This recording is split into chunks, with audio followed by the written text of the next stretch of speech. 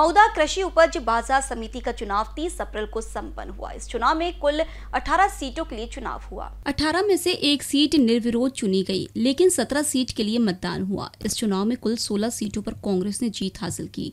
भाजपा, शिवसेना और राष्ट्रवादी ने मिलकर चुनाव लड़ा। उन्हें सिर्फ़ दो सीटों पर जीत हासिल हुई।